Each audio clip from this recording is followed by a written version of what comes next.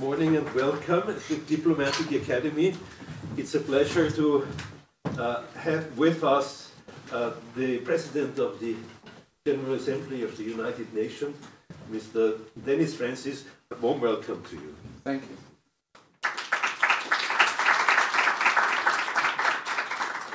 Uh, it's the first time that we have a President of the General Assembly here at this place, as far as I remember.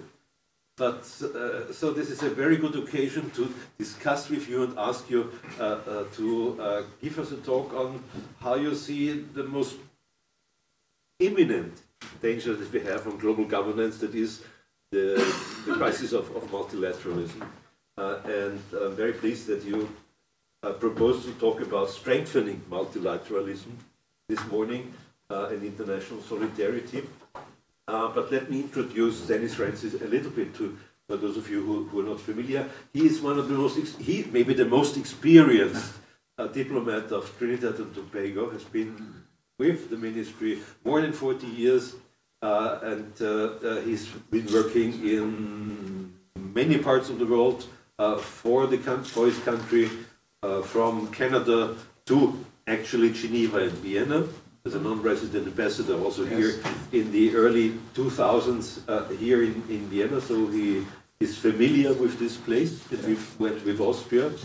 Uh, and uh, you were elected uh, last year to become president for this session. And you started in September yes. Uh, uh, your position as, as, as you started much better. Thank you very much. Uh, you started uh, in September this uh, this position as as president, and um, if, if I, if I uh, uh, just may, as, as, as some sh short introduction, because you don't have too much time here, it's one hour that we have for the discussion. Just let me say it's, it's uh, not only the issue of, of how can we really turn solidarity into something effective and, and, and, and real, practical, but also the issue of, of uh, what is the construction of the United Nations today? How effective is the construction? What chances do we have in changing it? We're all talking about the reform, as you know, of the Security Council, very important, but how are we going about it? Uh, what will happen at the, at the Summit of the Future uh, next year? And behind all that, um, what are we talking when we talk about universal values? Uh, those values which are the basis of the Charter from 1945, which are challenged by parts of the global south, not only global south, but also some authoritarian regimes in the east are challenging them. Uh, so there is so much on the plate. Mr. President, uh, may I ask you uh, uh, to share with us your thoughts on, on what's possible in the multilateral arena? Welcome again. Dr. Emil Brix, Director of the Vienna School of International Studies, members of the faculty, distinguished representatives of the diplomatic community in Vienna, students, ladies and gentlemen. I'm truly honored to be here today at the oldest diplomatic academy in the world, an institution whose remarkable history stretches three centuries and countless borders and cultures. I extend my sincere gratitude to all of you gathered here this morning, as well as to those joining us remotely.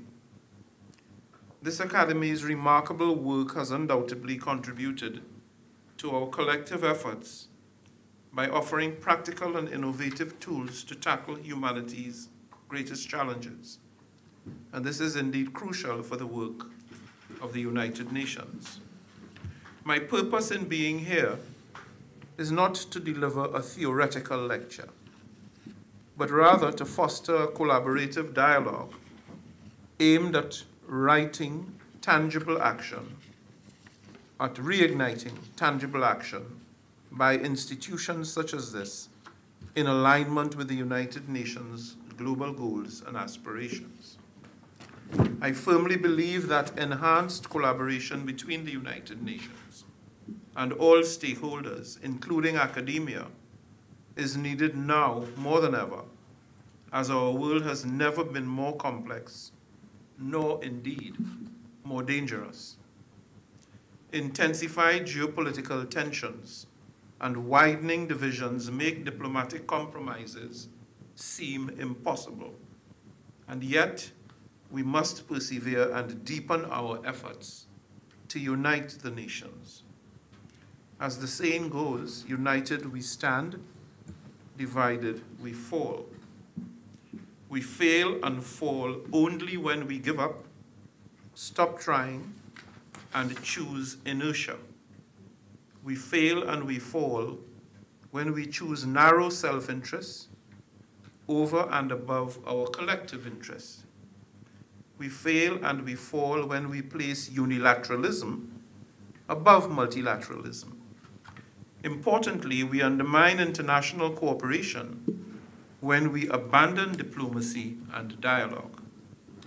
And we ru ruin the rules based order when we renege on our vows to adhere to and to promote the principles and purposes enshrined in the Charter of the United Nations.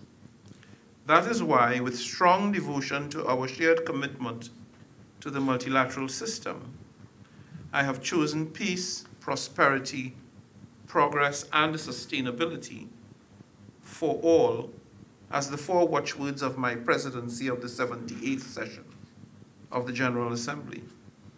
It is why I have committed to reigniting solidarity and unity among the nations and to ensure that we remain focused on implementing our development blueprint, the 2030 Agenda and its 17 goals. Without these basic conditions, the world cannot flourish. Success will be perpetually elude, will perpetually elude, elude us unless we can relearn the time-tested art of dialogue, diplomacy, and building understanding and trust. This is all too well known here in Vienna, a city that is no stranger to international diplomacy a multilateral hub that hosts the UN and over 40 international organizations, as well as thousands of diplomats and international officials. Our success as an international community hinges on our ability to foster inclusive collaboration and empower all actors, be it academia, the private sector, youth, civil society, and others, to contribute meaningfully to global governance. And I, as President of the General Assembly and the UN membership, call upon you to make your insightful contributions. Without a meaningful multi-stakeholder approach, it is inconceivable that even governments working in collaboration with each other can find effective solutions to the myriad of challenges confronting us at this time. As we gather here today, against the backdrop of the greatest number of active conflicts since the founding of the United Nations, our international society feels like a keg of gunpowder on the verge of exploding. Russia's aggression against Ukraine has forcibly displaced millions here in Europe and beyond with political, economic, and social dynamics that forever shape the geopolit geopolitical realities in the future. In the Middle East, decades-long unresolved Palestinian question has horrif horrif horrifically metastasized. The atrocities committed by Hamas against Israel on the 7th of October are grossly reprehensible and I once again condemn them unabashedly. But the indiscriminate campaign by Israel on the Gaza Strip is certainly not the solution. It is disproportionate and inhumane and offends our sensibilities. It is decidedly not, I repeat, not a solution to the crisis. In fact, it compounds it as it engenders the radicalization of Palestinians, especially the young, who are potentially the future peacemakers.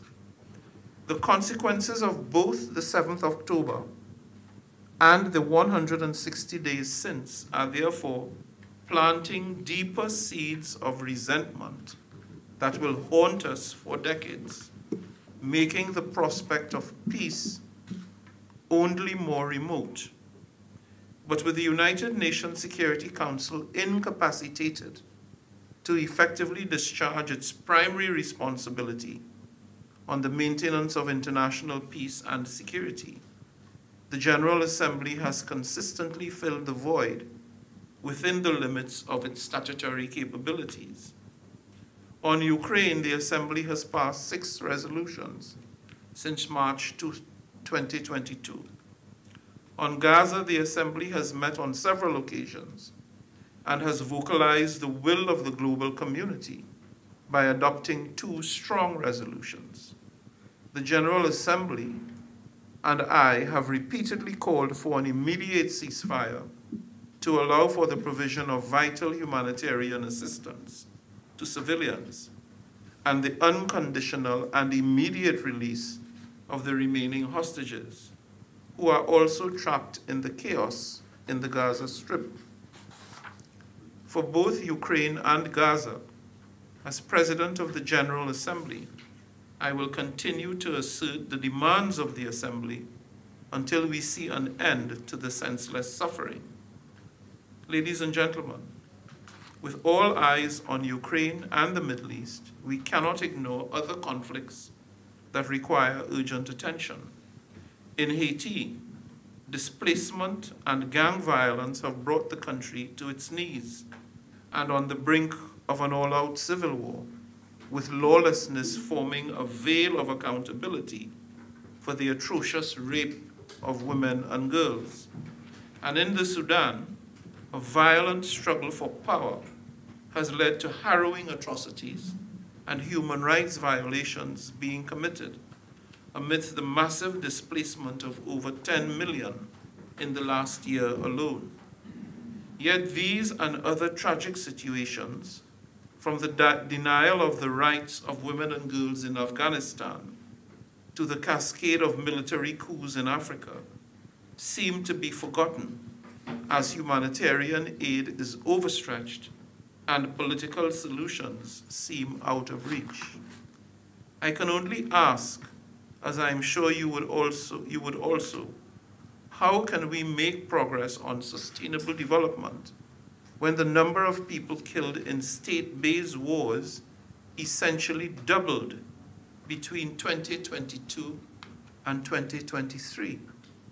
Unless we decisively tackle the drivers of conflict poverty, injustice, inequality, human rights violations, economic dependence, discrimination, and vulnerability, we will continue to fan the flames of social unrest and upheaval. Dear friends, the prevailing geopolitical climate is also as pronounced as the folly and short-sightedness of our climate ambitions. We cannot say that we were not forewarned through scientific evidence over the past decade about the looming climate catastrophe. Yet we have waited until very late, only to play catch-up. Now, the sad reality and the fact is that 2023 was the hottest year on record by far. Climate change is leading to global boiling. Our seas have never been warmer. Our land has never been hotter. According to UN estimates, almost 3 billion people, more than one third of the global population, could be displaced by the effects of global warming by the end of the century the movement of people at this unprecedented scale would trigger further instability and turmoil. Simultaneously, climate-induced sea level rise is posing an increasingly existential threat to low-lying and small island developing states. And the United Nation, at the United Nations, we are mindful that we have an obligation to address the disproportionate impact of climate change comprehensively and urgently, and to help countries chart a path towards action-oriented and equitable solutions. it is challenging that we are taking to, it is a challenge that we are taking to heart. And I am encouraged that at my recommendation, the General Assembly adopted a decision in January to convene a high-level meeting in September 2024 to address the threats posed by sea level rise. I remain steadfast in my optimism, for I firmly believe that even in the face of adversity, there is always hope. It is imperative that we stand together in unity and solidarity, unwavering in our commitment to the principles and purposes enshrined in the Charter of the United Nations. The offer by Kenya to support Haiti half a world away when conditions allow is a sign that solidarity exists between and among nations. We need more of that everywhere. And there are upcoming events in our calendar for the world to unite and build on this solidarity. In September, the United Nations will convene the Summit of the Future, a unique opportunity to supercharge SDG implementation. It is also the chance for an honest relook at the state of the world today and to try to fix it. To forge a path for a structured dialogue on peace and security in order to avert environmental mayhem or nuclear catastrophe. And I pause here uh, to note that this morning on the news, the president of Russia is threatening the use of nuclear weapons. So there's no hyperbole in what I'm saying. We are in a, an extremely dangerous place. The General Assembly, of which I am privileged to be president, is ready to lead in all these processes. As you may be aware, the member states have started intergovernmental negotiations on the Pact of the Future, as well as on the Declaration on Future Generations, as well as the Global Digital Compact. Let me pause here and emphasize that the Digital Compact is a landmark initiative aiming to bring together governments, the private sector, civil society organizations, the youth, and others to work collaboratively on a set of shared principles and commitments for shaping an open and free world, including a secure digital future for all. With technology as an inherent component of achieving the 2030 Agenda for Sustainable Development, the massive global digital divide must be redressed if we hope to fulfill its central promise of leaving no one behind. As President of the General Assembly, I will continue to underscore that the outcomes of the summit must be ambitious, action-oriented, and impactful enough to meet the challenges of our time. Furthermore, preparations are underway to convene the General Assembly's first ever Sustainability Week at UN headquarters from the 15th to the 19th of April. This week of high-level events will address sustainability in infrastructure, tourism, energy, transport, as well as a special focus on debt sustainability. The Sustainability Week is intended to galvanize momentum on critical sectors that cut across the entirety of the 2030 Agenda and serve as a building block to the Summit of the Future. In the run-up to Sustainability Week and beyond, I would welcome your input and suggestions or questions, which can be freely submitted on the Ask PGA platform on my official website. I also encourage you to showcase commitment to sustainability by engaging in our social media campaign by using hashtag ChooseSustainability to be launched on the 1st of April 2024.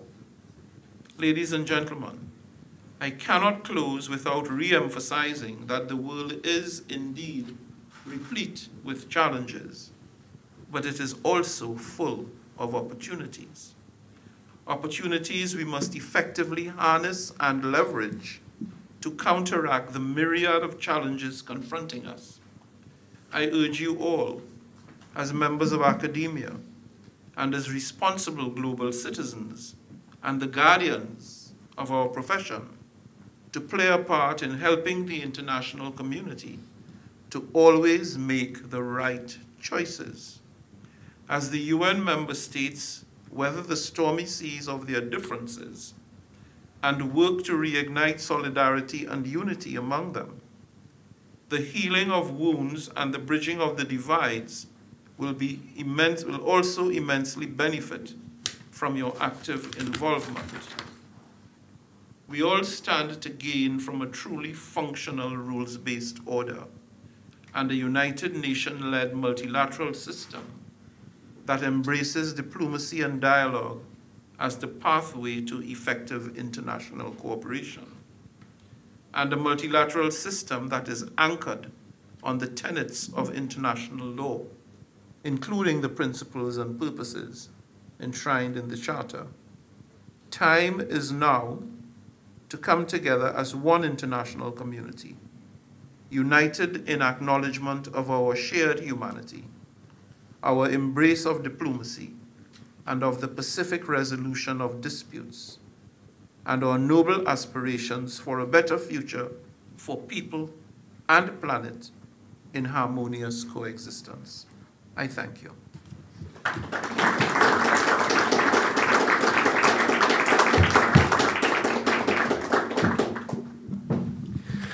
Thank you very much, uh, Your Excellency. Thank you for giving us an overview of, of how you see the, actually the dramatic character of the situation uh, we are in.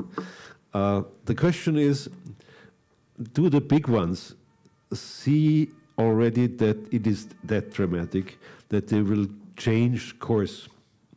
I'm talking about the Security Council reform, first of all.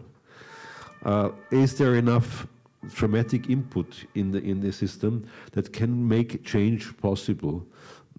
Before I open the floor, my question would be: What are the chances uh, for uh, a reform of the UN uh, system, and especially the Security Council?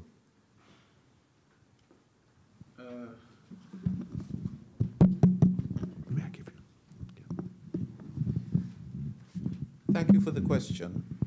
Um, the reality is, and we know this uh, uh, from our own experience, uh, that those who enjoy power and privilege are never really in a hurry to share that power and privilege. But having said that, uh, I should also say quickly that uh, the context in which we are living now, the atmospherics are such that there is uh, an enhanced uh, um, uh, demand, uh, requirement for there to be substantive reform of this United Nations Security Council as part of a larger reform process uh, of the UN, including the General Assembly. Now, uh, UN, the whole business of UN reform and reform of the Council is not new. This has been going on for a long time um, in subtle ways. For example, before, before uh, 9 11, there was no unit in the UN dealing with the question of international terrorism. In the wake of 9 11, such a unit was established, and in fact, is very active and functional in, uh, uh, in, in, in saving us uh, from uh, um, um, in the incidents of terrorism. We don't know this necessarily because so many attempts at terrorism have been quelled that public attention is not drawn. It's only when there is an event that people realize, you know, how pernicious this danger is. But that unit exists and works very well. Um, so this process of reform has been ongoing. The issue at hand is that the structure of the Security Council in 2024 does not represent the, uh, the geopolitical realities, realities of today. It was established at a different era in history. Circumstances were quite different. Uh, the world was not comprised of 193 countries as it, as it does now, as it is now. And most of the countries in the global south, in fact, did not exist. In addition to which, you have countries, uh, developing countries, um, exercising extraordinary influence regional, regionally and globally. The Indias and Chinas of this world, the Brazil, South Africa, uh, countries like perhaps at a, lowest, at a lower level, uh, Malaysia, uh, Singapore, Mexico, uh, Argentina. So our world is changing. The dynamics have changed radically. Yet the structures uh, remain archaic. Uh, and so decision making is frustrated by this. Um, you asked a very specific question whether the big ones uh, uh, are willing to accept. Well, um, for the very first time that I can recall, a United States president actually verbalized U.S. readiness to, uh, uh, to look at the question of Security Council reform. And I think what has driven this to a significant degree, it's a number of things, uh, not the least of which is Russian aggression in Ukraine. That's one, but there are other considerations. Uh, the fact that, for example, uh, the fact that um, you have countries, large countries, uh, who are rivaling the traditional uh, centers of power and whose pervasive global influence is a reality. Um, so there has to be some accommodation in the system. Uh, you, have, you have a country like India, uh, which has a massive campaign to become a member, a permanent member of the Security Council.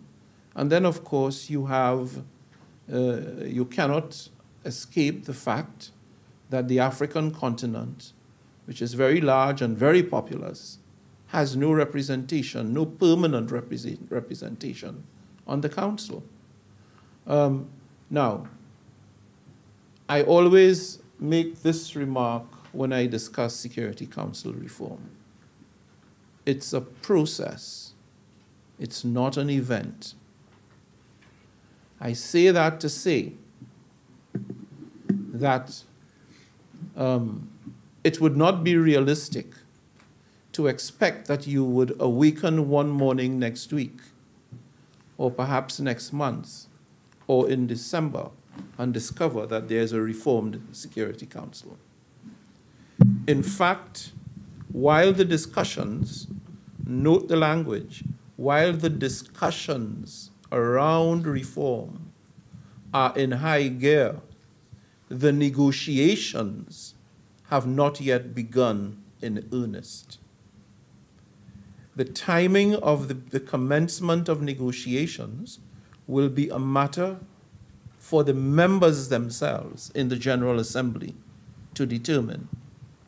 There are some that want uh, negotiations to begin immediately. Not all share that view. Not all share that view. So uh, I would say to you that reform is definitely on the agenda. It's not going to go off because there's frustration in the House among all delegations that the Security Council uh, seems incapacitated to act even in the most egregious situations regarding uh, human rights and human dignity. And this, of course, is an offense to our sensibilities. But all is not lost because there has been resort to the General Assembly, which has residual powers in matters of peace and security. There's one proviso in the Charter, and that proviso is that the General Assembly may not take up an issue of peace and security while it is being discussed in the Security Council. So you would notice that it is only after the Security Council had failed to reach a decision on Gaza that it was taken up in the General Assembly. And having taken it up there, the Assembly issued some very strong, very clear demands um, uh, which stand today. And the Assembly has reaffirmed those. It took, it took the General Assembly uh, to reach a, a decision and issue a resolution on Gaza to put some political pressure on the Council, which subsequently then agreed uh, a resolution on Gaza during the presidency of, the, of China in November last year. Before that, nothing. And, and then it was strictly dealing with the humanitarian situation on the ground, the need to get access to be able to provide relief uh, to the people of Gaza. So, reform, yes, it's on the agenda. It's not going to go off. There is, I think, universal uh, interest and commitment that it should happen.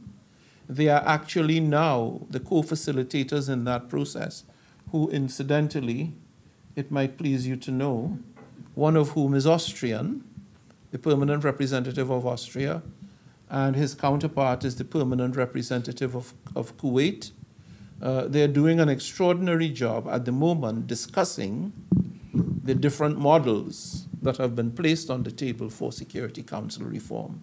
You might think, as some might be inclined to, that this is uh, maybe theatrics. It is not. Because even though the formal negotiations have not begun, the process of discussing the formulas helps delegations to understand the subtle distinctions between those formulas and what to make an assessment of what might work best in the complex uh, uh, environment in which the Security Council has to operate and in which we require it to be effective. No. Mr. Ambassador, frustration is never a good friend. uh, uh, you said we are in a process. Yes. We are not there to have formal negotiations, but as we all know, and we had one year ago at this place uh, a discussion about the reform of the UN system, yes. also with our colleagues from New York. Uh, and then it was said, uh, actually, we started the process at least 16 years ago, mm -hmm. 15, 16 years ago where are we? Is it a marathon? Uh, uh how, how, optimistic are you? Uh, how can we help to create even more pressure uh, as we realize that in all these issues you mentioned, from Ukraine to Gaza, Haiti, Sudan, the General Assembly cannot substitute fully the Security Council responsibilities, no. as you know. So where are we? The General Assembly cannot. Uh, uh, because the General Assembly has been, the Charter assigns um, only uh, supplemental authority to the General Assembly, residual authority on matters of peace and security. Peace and security uh, virtually lies in the domain of the security. It's the raison d'etre for the existence of the Security Council. But let me say quickly, because uh, there's a body of thought uh, that suggests that the security, that the General Assembly uh, and the resolutions it passes are useless That is, you cannot get further from the truth than that. Now, it is true that resolutions passed by the Security Council have the force of law. Everyone is required, all member states is required uh, to uh, implement those resolutions. Resolutions passed by the General Assembly, however, do not have the force of law. That does not render them useless. Because what the General Assembly resolution represents is the compelling opinion and will of the majority of the 193 member states. it's a political declaration that the General Assembly makes. And that in itself has power. Because, as has happened to a significant degree with Russia, those resolutions can have the effect of isolating states. No state in international relations wants to be isolated. Because isolation means that you cannot be effective in exercising influence in the system. And for example, uh, many of you who follow these things closely may know that Russia for example, had a, a candidature for membership of the Human Rights Council. That candidature failed. It failed. Um, they also have a candidature for membership of the Economic and Social Council. And they have been trying for several, several months. Uh, it comes up maybe every six weeks or two months, whatever it is the candidature is stuck, it does not advance. So there is a price to be paid for violating the rules and breaking the system. And that price, to a significant degree, is uh, engendered by resolutions passed by the General Assembly. You cannot ignore public opinion. And so you asked the question about uh, what can be done. How can how can you, uh, pressure, you the pressure? Yeah. Um, well, you can do a number of things. Uh, public opinion is increasingly important in an era where everything is driven by media. Uh, you can write, for example, express your views in the newspapers, write to the editor. Uh, you can uh, lobby your government the government of Austria, uh, about the urgency of the need to address the question frontally of reform of the council.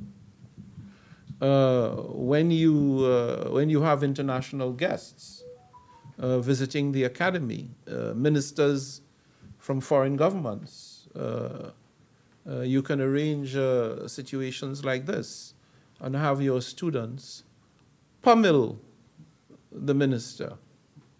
Because public you have a, you have a voice. This is the brand new world of the 21st century. And youth voices are important voices.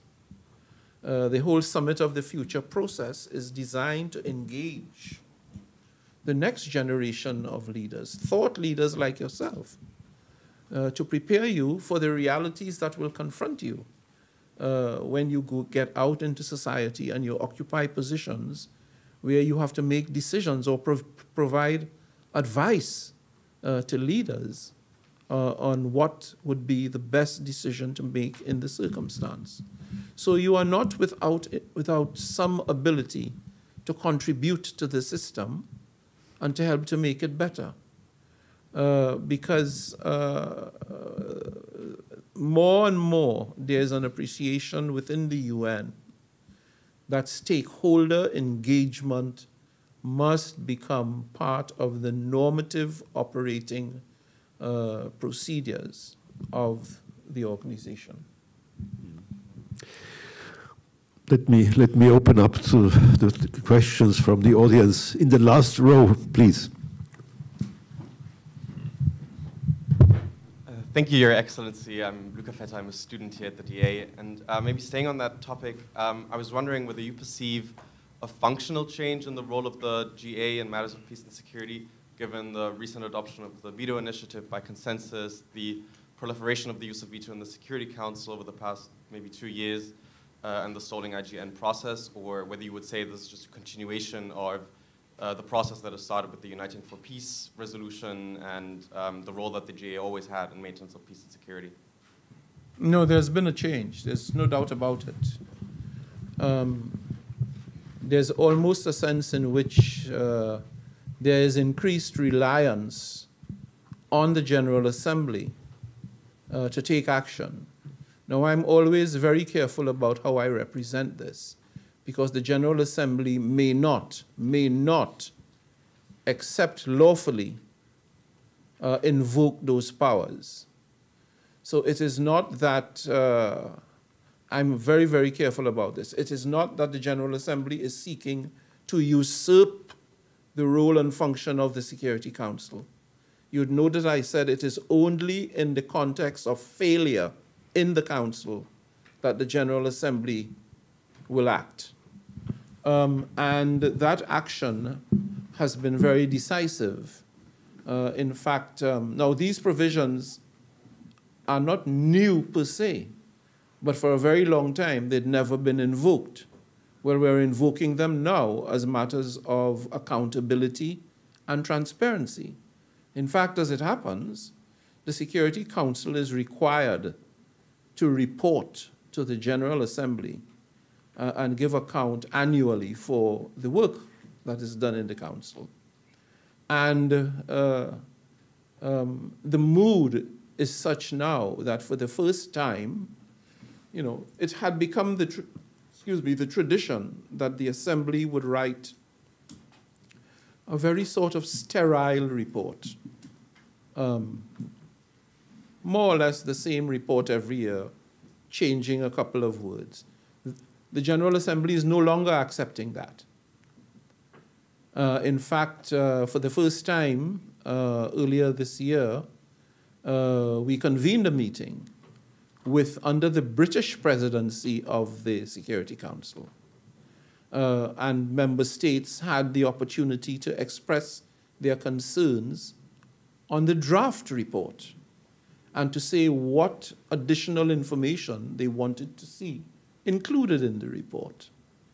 Now, the British did make clear that uh, their voice is not the only voice that will shape the final outcome of the report. It's going to have to, because this is a, a report for the entire council. But they did take on board, take note of the sentiments expressed in the room. That has never happened before. So there is a shift, there is uh, increased reliance on the General Assembly in, this, in the wake of the situation in the Security Council. Yes, yes, please, in the second row and then in the fourth row. Hello, my name is Milan Gajic. I'm from Serbia. I'm a master student here at the Diplomatic Academy of Vienna. Thank you for, so much for a very insightful and uh, interesting lecture. And uh, I concluded from your lecture that uh, our future is not that bright that we expect to be, and uh, what we can do to change that. It's a good very, question. A very general question, yes. but an important one. Yes. Yes. Ah, hope. There's the answer. I deal with these issues every day. I would be less than honest if I did not say to you uh, that there are moments of intense uh, frustration, sometimes sadness, sometimes helplessness. But I wake up every morning with hope.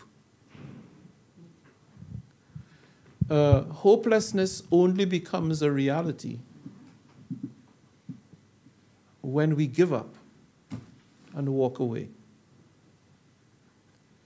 We, the people, have the power to make a difference. And so, my advice to you, young people, global leaders, thought leaders, globalists, is first of all to pay attention to what's going on around you and to, uh, uh, to, to value the principles on which the UN is based. Uh, the principles of cooperation, of building understanding, of following the law.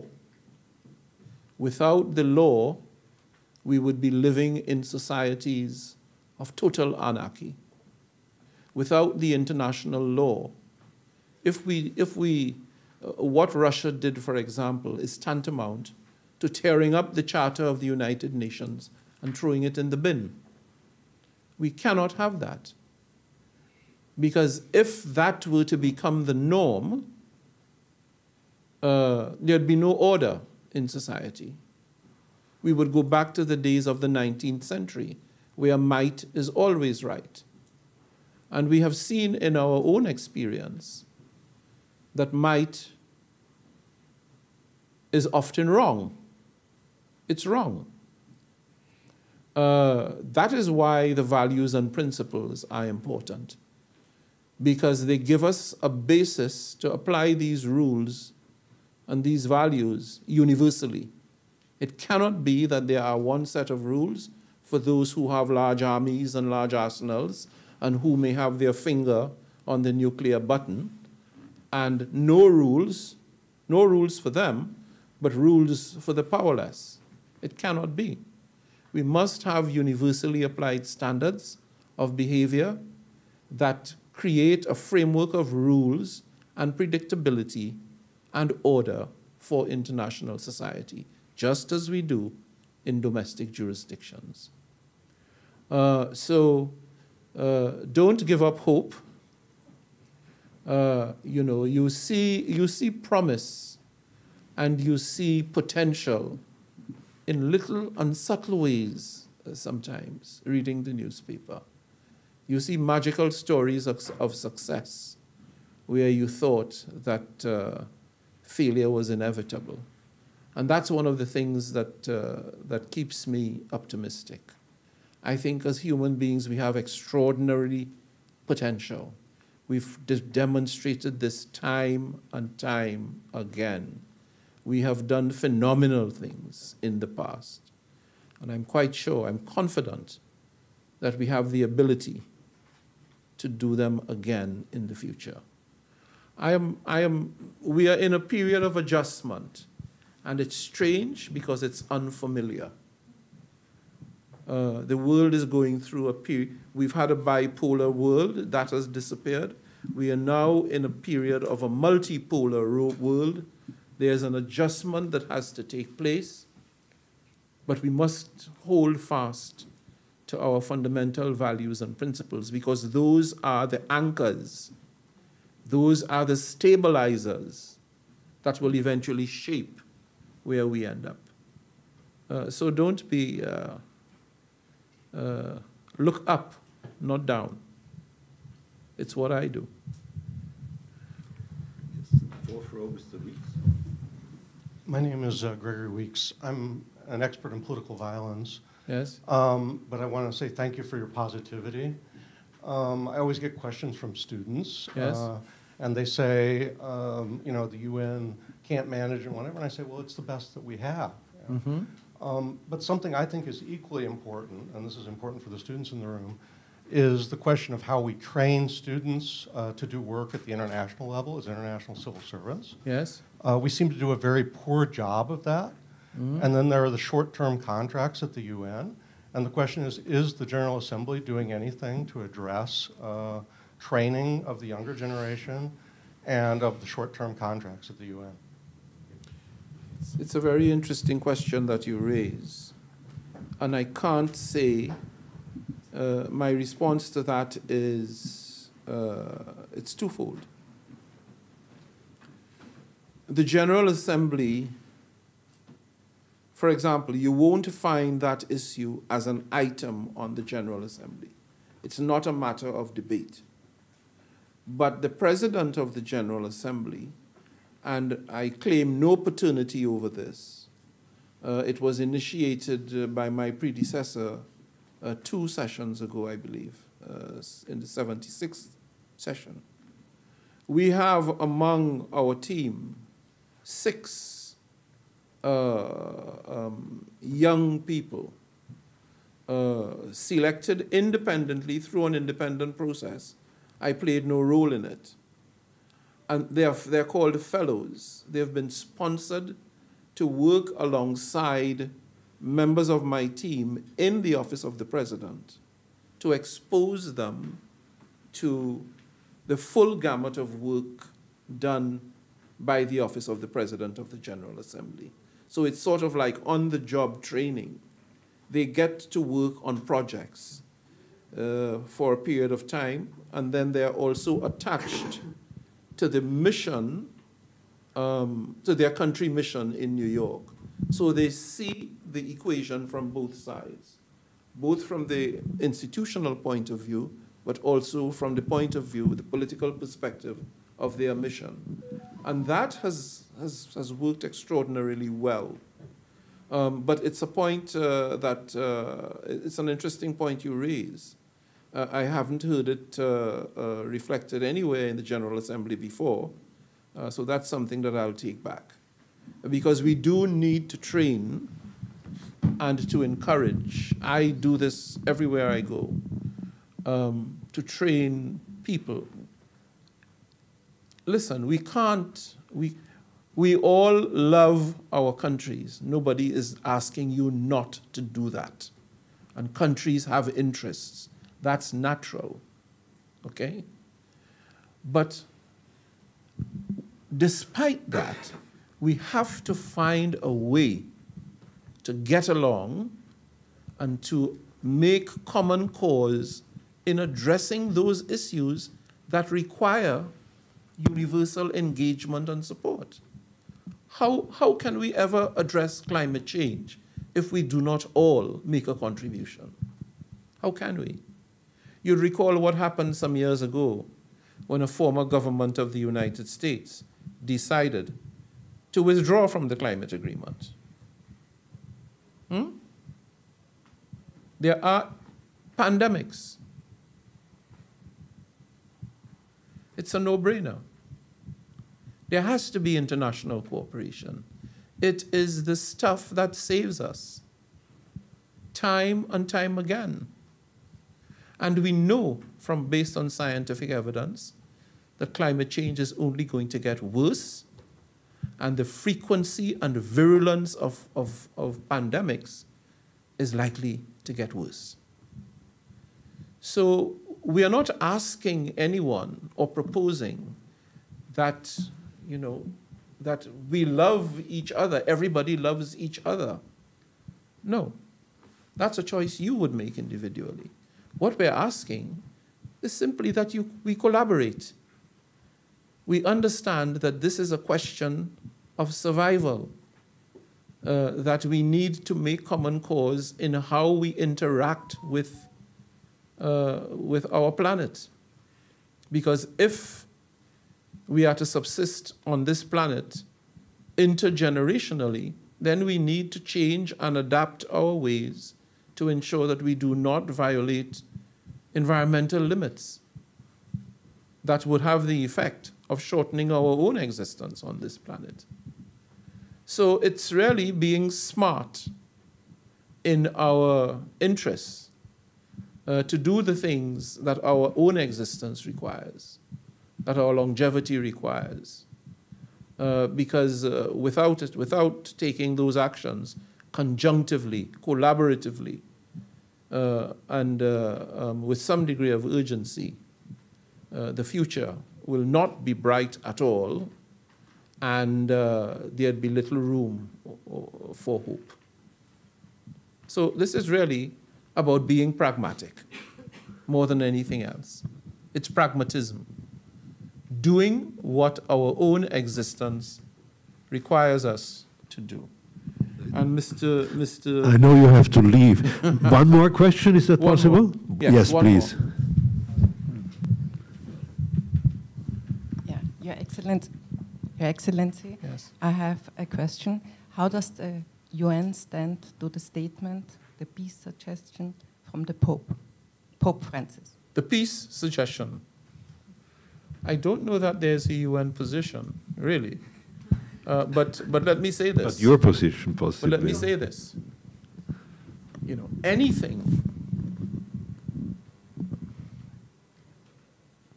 anything except those that might qualify as being unethical that supports and promotes peace, the UN will support. Because peace is the UN brand, it's our purpose. And let me leave you with one thought. It's not an original thought, because I'm not a plagiarist, but it's a very powerful thought. And I would invite you, anytime you're in New York, uh, go to the office, get a pass, and visit the UN. And go into the UN gardens. You will see a statue there of Mahatma Gandhi. And the inscription on that statue is very simple There is no way to peace. Peace is the way. Remember that.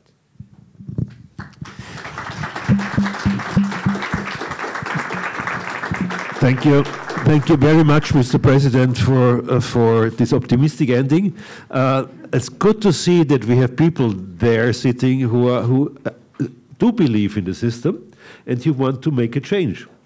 We Austrians uh, uh, have a saying, unfortunately, which is a bit more cynical. We say the situation is hopeless but not serious. We wish you all the best for the for you UN uh, Commission on Narcotic Drugs now in Vienna, and enjoy your stay in Vienna. Thank you for coming. Thank you very. Thank you very